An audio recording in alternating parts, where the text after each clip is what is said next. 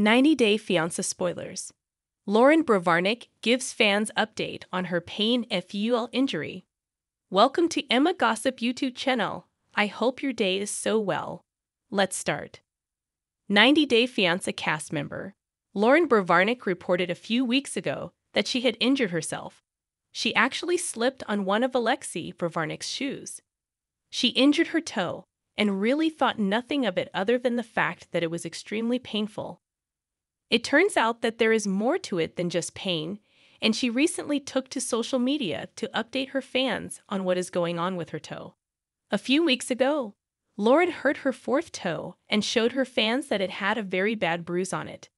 Of course, she thought it was just a bruise and felt that it would eventually heal and go away. It doesn't seem that it has healed, though. She gave her fans an update on her toe, and it doesn't look like it did any healing at all.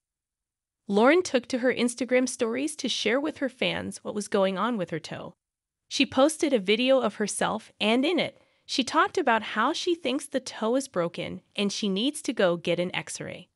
She mentioned that this happened three weeks ago and it's not getting better.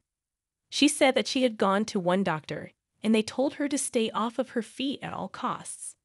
She thinks that this advice is silly because she has three small children at home and she can't really lay around and watch them all day.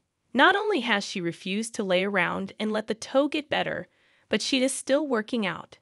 She has shared a lot of videos of herself working out at the fitness center where she lives. She is still trying to get off that baby weight from her third child, and she will stop at nothing to do so. She has a fitness coach that she has been working with, and they do some very intense workouts together. This cannot be good for her toe, but she still pushed on no matter what.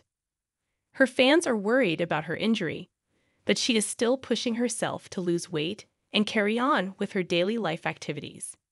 Life can't stop for this mother of three, but hopefully it won't cause any more issues with it or else that could really change life for Loren. We will continue to watch and see if she updates fans on the injury.